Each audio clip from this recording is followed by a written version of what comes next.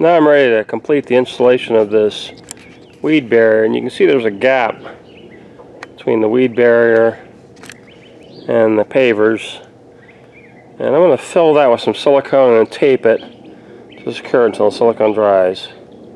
Let's see if I can do this here. Alright. Of wire cutters, cut that. Open that spout up a little bit.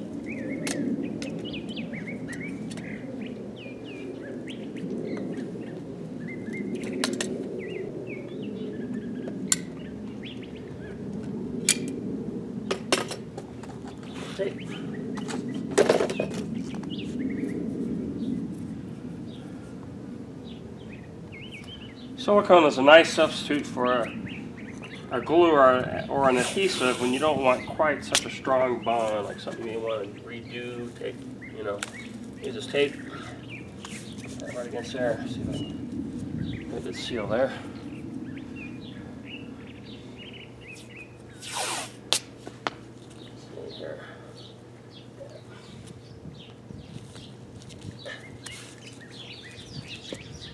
A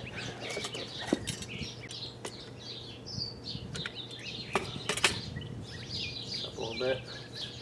There we go.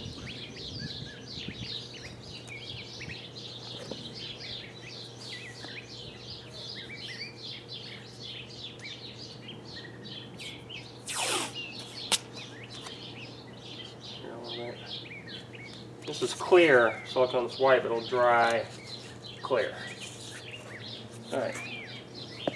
On that, that should work. So now I got about four feet of that taped up. I'll let that sit overnight. I need to go get some more uh, silicone, but um, I think this will complete the seal of that paver edge from grass coming in from the left there.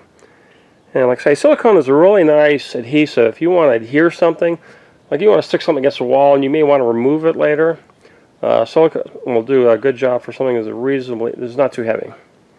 And here I'm using it to it as a kind of glue to get the um, weed barrier to adhere to the very tight edge of the barrier of the weed barrier there.